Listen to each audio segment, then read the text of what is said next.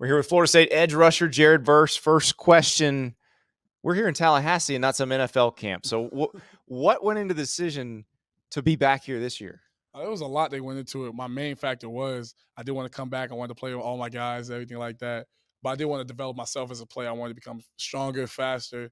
I wanted to get my hands more violent. There was just so much work I wanted to do on myself before I take that step to the next level. How much of it is just being so new to the position? You were a high school tight end.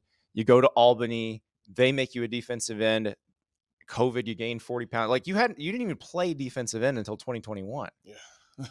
it was to me. It was. Uh, I always felt more natural at the end. Mm-hmm. Like tight end was fun. I had a lot of fun. I love scoring touchdowns. love being in the end zone, doing my little touchdown celebration. But I just always felt more natural at the end. I felt like, all right, this is where my talents are best used. And going to Albany, they gave me the option to do tight end or defensive end. I was like, I'll, I'll do the end. Like, didn't even hesitate. what what was the touchdown celebration? Like I'm just in case Norvell has a trick play for Oh, you. it was always the worst thing. Like it was always horrible because we had our band in the end zone. So I always run. I'd score. I'd see the band. I'd be like, "Yeah, get loud!" and like five of them would get loud because we'd be winning. I'd be like, uh, They're like, what what song you want us to play?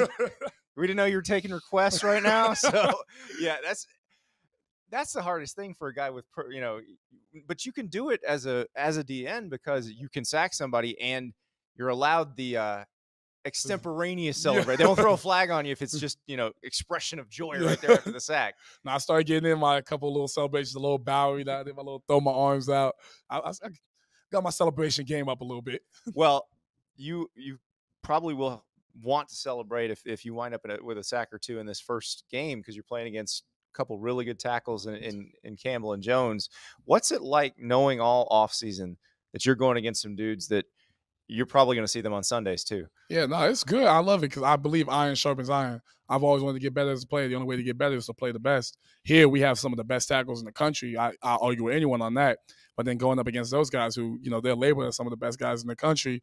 They were freshmen last year. Now they're sophomores. They're a lot stronger. They've learned so much. I'm like, all right, I can't wait to see how much they've grown for myself. Because film and then real life is two different things. What was that LSU game like for you last year? The first game, you know, in, in this environment versus playing in Albany. It was surreal when I walked in. Like I, walk, I walk out to do my like little warm up. I Oh, look, yeah. I, I look around. I'm like, the lights are all shining. Everyone's there. I'm like, "Bro, what the heck? I'm like, I feel out of place. I'm like, all right, I gotta lock in. But then like after that first snap, like I was nervous. Like I don't really get nervous before plays, but I was a little nervous right before it. After that first snap, it all just went away. Like everything just disappeared, and then I just played.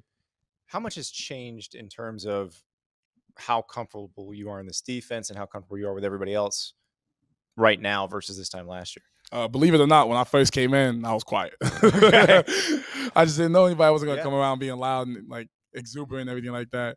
But as I got more comfortable, I got to know guys like Trey Benson. I got to know guys like Amari Gainer before he transferred. I got to know Fabian Lovett. I got to know all these guys. I just became more comfortable with them. I'm being around these guys. I'm like, all right, like this is truly my family. What's the feeling like when you get to a place like this from Albany? Is it is it am I going to be good here? Do do you know or do you need to get out on the practice field to figure that out? a lot of people asked me, was I nervous to get here, like before this? And I was like, no, I wasn't nervous. Like I always felt like I belonged here. I always felt like I belonged to play against the best. Florida State has the best. I was trying my hardest. I got here, I practiced hard, I worked hard. I wanted to show these guys, hey, I FCS, I'm gonna work. I'm gonna like bring y'all game up with me. So let's let's talk about your move to defensive end because that was something that that they planned at Albany. You redshirted, and then the the pandemic happens. You've got no season. You're at home. Your dad orders weights. Your mom and dad are cooking you meals every day. Like, how you gained forty pounds? How how did you do that? So it was mainly my dad. He went about the weights because me and my dad love to work out. Like that's why I started working out before I even played football. I always worked out with my dad just to get stronger as a kid. And we didn't have any weights at home. The gym closed down. My dad like it was like day two of like him not working out. He was like, I was I was benching a bed at first because like in my room we had a futon. They could like lay out into a bed. So I out into a bed and I get underneath and I just bench Were you it. benching the whole bed, the whole Yeah. futon? Yeah, because I like I didn't have any weights. Was there So- not a truck that you could just lift up? so I was doing that. Then me and my little sister, we like push my car and everything like that. Like we were doing anything to get some Yeah. work in. My dad was like, "I'm gonna go buy some weights." Like I found somebody selling them and everything like that. I was like, "All right, like go get the like get them today." he went. He drove like two hours for him. I was gonna say this is the mm. pan. You could not find weights anywhere. Oh nowhere. He drove like two hours for Him, Came back with like a bench, some bands, the the one two 120 pound dumbbells, two 30 pound dumbbells, jump rope, like a bunch of stuff. But it was like so weird of stuff. Like none of it like meshed together. I was like, I gotta figure out something. So you had to figure out how to do. It. So you, you wait. You had 120 pound dumbbells, Mhm. which you can't. Most people can't even lift those. yeah. So you got those, and you got like 30s. Yeah, 230. So I'd be like, all right, like, because there was like no medium weight. Like, it was like light and it was like super heavy. I'm like, there's no medium, so I got to figure this out. you, you've just you've probably invented a new workout craze. Like everyone's looking for the, the the secret. So the secret's going to be lift heavy, lift light, alternate. it, honestly, it was just like a work ethic thing. Like, I was never big in like motivational videos or anything. Yeah. But I watched this one video and kept talking about like, if you want to succeed as bad as you want to breathe. And like, I was like, I want to win pretty bad. Like, I, want to Yeah. win bad. So all I did was work out. Like, I just lived in the weight room. We'll be right back with more of our interview with Florida State defensive end Jared Verse right after this word from Game Time. Because if you want to see Jared and the Seminoles play against LSU on Sunday, you can still get tickets. Yes, the game's sold out. Yes, it's a top 10 matchup. Yes, the whole world will be watching and everybody wants to be in the building in Orlando. But you can be there too with Game Time. It is the place to get last minute tickets. So here's how it works you download that Game Time app you find Orlando, you click Florida State football, you find your ticket. You can get there. Look, it's a big game. It's not cheap. 176 bucks though, not terrible. Not terrible for the game of this magnitude. 176 bucks, you can be in there. You click that ticket in the Game Time app. What comes up? It's a photo of the field. And you're thinking, oh, that, that's the field where they're going to play. No, that is the view from your seat that you'd be buying. And if you look down, a couple more clicks. It's all it takes. And that ticket is yours. That easy to get last minute tickets. And oh, by the way, if you would like to transfer them on game day to your friends, you can do it by texting. It's not complicated. Game time makes this entire process easy and stress free. So, whatever game you want to see this weekend, or concert, or comedy show, download that Game Time app. Use the code Staples and you get $20 off your first purchase. That's code Staples, $20 off your first purchase. Go get yourself some tickets right now. There's big games this weekend, guys. It's that easy. Last minute tickets, lowest price, guaranteed at game time. And so you you start playing DN in 2021, and it was pretty immediate. I, Adam Fuller, your DC now, told me that basically anybody who played Syracuse that year, because Albany played Syracuse, Yeah. saw you and was like, "Who the hell is that?" when when you entered the portal, what was your phone like? And so I entered the portal. I officially entered at like 2 a.m. because I like had to fill out something and Mhm. everything like that. And I think at like 7 a.m. they like officially put me in. About 9 a.m. my phone was going crazy. I'm getting calls from random numbers. I'm like, hello, hey Jared, it's Adam Fuller. I'm like, Adam Fuller. Yeah, oh yeah, defensive coordinator. Plus, I'm like, whoa, whoa. I'm like, whoa. And I'm getting calls from like every coach, every recruiter, everybody across the board. I'm like, this is like, like it was so much at once. I was like, yeah. And then, like it happened for like two weeks straight, and I was like, oh, How did you how did you d- narrow it down and then decide on on Florida State? So uh, when I went home after the season, after I left Albany, my mom, we had like a in our dining room, we put up a whole bunch of boards, pros and cons of every team after our visits, every like everyone we thought would be like a great fit for me or where I should go. And we slowly narrowed it down based on like position, based on need, based on what their defense was. If I liked the like, if I felt like I meshed with the coach, everyone I talked to, I had a great connection with. But if I felt like I was really seeing myself there, then it came down to Florida State and like two other schools, and I was like, I kept looking every time I was like looking at the boards. I kept seeing Florida State. Like I kept turning my head back to them. Like any, I couldn't even think of any cons about them and everything like that. And when I came here, I met with Jermaine. I met with That's what I was gonna Keir. How Mm. much did Jermaine Johnson's success in his one year here affect your decision? Oh, it was crazy because I'm like, like look at Jermaine. We took two different paths. Like he went to Georgia first, and like he did what he did at Georgia and came down, came uh, to uh, like down south to Florida State. And I'm like, all right, like we took a different path. But I'm talking to him. I'm like, what do you not like about here? He's told me his likes, his dislikes, everything like that.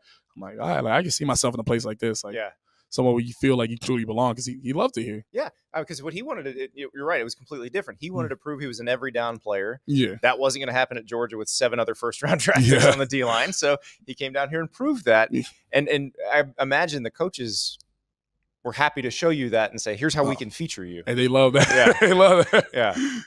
All right, we so we got to talk about that. You mentioned earlier you don't have a logo yet. yeah. but some little kid after a game gave you an idea for one. So, put uh, put it out to all the all the aspiring graphic designers out there because there's probably somebody willing to do some work for you. Hey, I need a good logo. I need something real nice, something that show my brand, something you know, verse five, you know, something like that, something that really goes crazy. I love a logo. The, the kid was onto something though because Oh. it was a V, Oh, yeah. which is the Roman numeral for five. Like this is now the kid was next level. the little kid came up to, up to me after the game. He's like, verse, like do verse, but then instead of an S, have a five, and the Roman numeral is already five for Yeah. V, and then like verse already has five letters. So I'm like, five just like makes a lot of sense. Well, I do remember there was a guy who wore number five here who won a Heisman Trophy. So Oh yeah, some guy back in there. uh, yeah, there's some- I mean, what if that happened? Definitely need a logo. Oh, though. definitely need a logo. well, how excited are you for this? Because it, this is something where you you guys have a lot of talent back. You know everybody. Everybody understands what you're capable of. As you go into this LSU game, how exciting is the possibility of what can happen this season? you think about the whole season everyone's been talking about uh, what we're able to do what we're capable to do what everyone's expecting a lot of people are expecting us to go all the way go the distance and our main focus has always been what can we do? And now we finally get that chance to showcase it. Lsu was a very good team you know they were the top one of the top teams in the sec last year.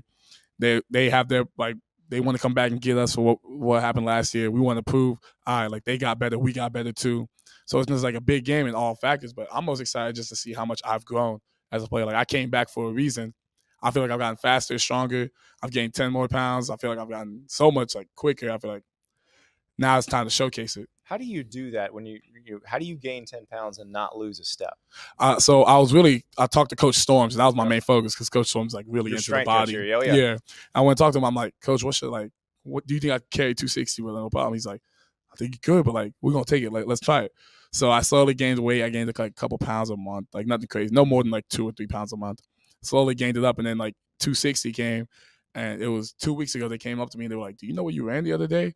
I was like, "Nah, what was it?" They were like, "Come in and see it," and they told me it was, it This was some crazy ca- this is on the catapult. Like Yeah. how many miles an hour you were running? Yeah, it was some crazy. And I was like, I went away then. I was about two. I think I was two fifty nine point like seven or something like that. Like right there, I was like, right, like I can carry two sixty now. And now you got to keep it on during the season. That's yeah, a- that's, the biggest part. challenge. Yeah, that's the biggest challenge. it's a it's a good problem to have though. That oh means yeah, that means we're done playing football. It's coming off. So Yeah. exactly. Well, Jared, good luck this season. And uh, oh, well, before we go, how do you deal with everybody expecting so much, not just of this team and what you could do, you know, in terms of a championship and that sort of thing, but of you saying, okay, we thought you were going to be a first rounder last year. Now you have to exceed that this year. my my goal has always been. I've I've never been somebody like on the first on anybody's board. I've never been that player that like, oh yeah, we need him or anything like that. Before like I left Albany. So my main thing is I'm just gonna keep doing me. I expect so much of myself. No one could ever expect more of me than, than I do of myself. No one's ever gonna expect, oh, Jared didn't do this. Well, yeah, I expected more of myself. Like I did, I have to exceed it. I expected myself to do good last year. It wasn't good enough, so I have to do better. All right, Jared Verse, thank you so much. Thank you for having me. Thank you so much for watching. Just a reminder subscribe to this channel right here so you never miss an episode of Andy Staples on 3. And oh, by the way, watch all the other great videos on the On 3 Sports YouTube channel.